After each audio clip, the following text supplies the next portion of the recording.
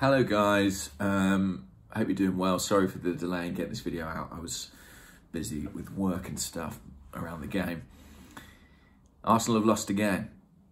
Uh, seven games without a win in the Premier League, I believe. 2-1 uh, at Everton at Goodison Park. Uh, I can't say I'm too surprised. I really was quite fearful going into this game. Although the way it played out was interesting to me. I mean, I don't think Everton were very good. This was an side that lacked Lucas Digne at right at left back. Um, they played basically four centre halves across the back. In midfield, they didn't have Andre Gomes, they didn't have James Rodriguez. I think they were lacking creativity, dynamism, movement going forward. If they were ever going to score goals in this game, it was from crosses, and that's precisely what they did. Arsenal keep finding, I mean, they can't buy a goal from open play at the moment, but they keep finding new ways to start conceding them. Our record from defensive set pieces has been pretty good. We allowed Yerry Mina to score shortly before half time. Nicolas Pepe appeared to be the man tracking him. That does not seem like a wise move. And they opened the scoring with a, a cross from Alex Iwobi from the right-hand side, adding insult to injury. Think how many times he played for us on the right and was completely unproductive and terrible. Across from him towards Dominic Calvert-Lewin, his header deflected off Rob Holding for an own goal. Um, the curse of the captain's armband. They keep sticking it in their own net for Arsenal at the moment. In between that, we got a penalty. Nicolas Pepe stuck away, won nicely by Ainsley Maitland-Niles. As I said, I think Everton were quite average for long periods in this game. Uh, and that was enough. And that tells its own story, really. You know, the games Arsenal have won this season and the games they've lost, I'm not sure they've been dramatically different. And I guess, I guess that's the problem.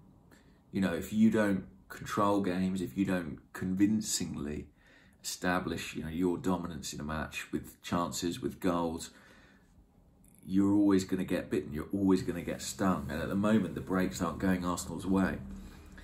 And I'm very, very worried. I, I, I honestly don't think Arteta's in any immediate danger. Some people will think that's crazy. Um, and there's a justification for that, certainly. I don't think he is, though. And I think maybe that's why I'm worried because I fear how bad this could get. We've got games next week against Man City and Chelsea. I'm not full of optimism about those. Then the fixtures get a little bit easier. But right now, all games are hard for this team. Um, it's genuinely hard to say things that are new or interesting about them. I suppose the selection was interesting today. You know, he kept Maitland-Niles in over Bellerin, he kept Nketiah in over Lacazette. Raised a few eyebrows at that, especially without Aubameyang there. He played Willian from the left, Pepe from the right.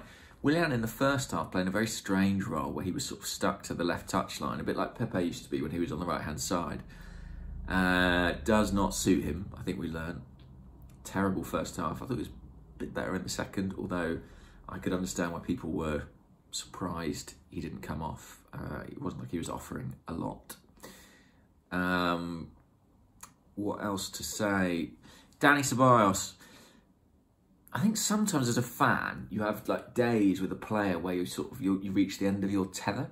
And I think I've reached that with Ceballos. I wonder if it's because he's not our player, and so I'm sort of less because he's on loan. Obviously, I'm sort of less warmly inclined towards him because I kind of feel like he's just passing through. But he really gets my go. I think he doesn't make himself available for passes enough.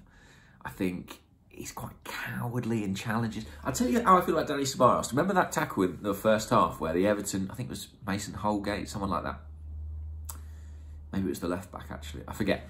One of the Everton defenders cleaned him out. It was a heavy, heavy challenge. And I watched it and I thought, good. He, he sort of deserved that. Um, that tells you sort of where I am with him. Um, yeah, we're so slow to get the ball forward. Teams are happy for us to have possession. Whatever Arsenal do, they must not take this increased possession as a sign of progress. It isn't. Teams are letting us do that because they do not fear us. They do not think we can hurt them with the ball. So they'll let us have it and they'll sit in. And that's what Everton did in the second half. They barely had the ball. it's a risky strategy. You can get caught, but not against Arsenal, seemingly.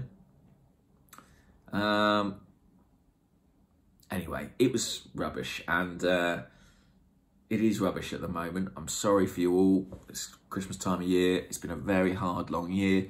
And why is football there? It's there for something to distract us, to bring us joy, uh, to, you know, bring some light into your life, hopefully.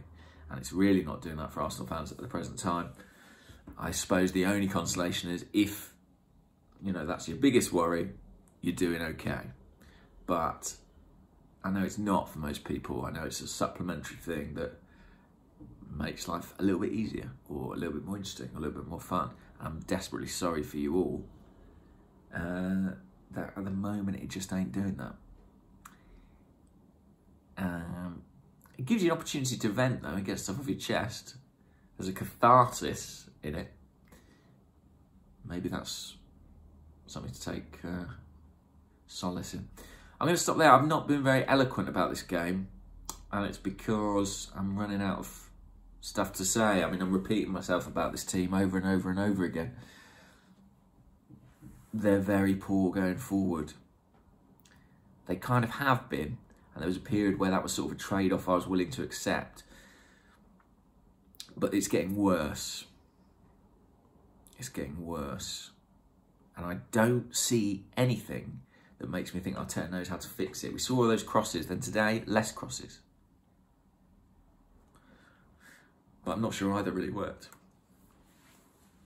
Right, we're going to have a drink. Merry Christmas.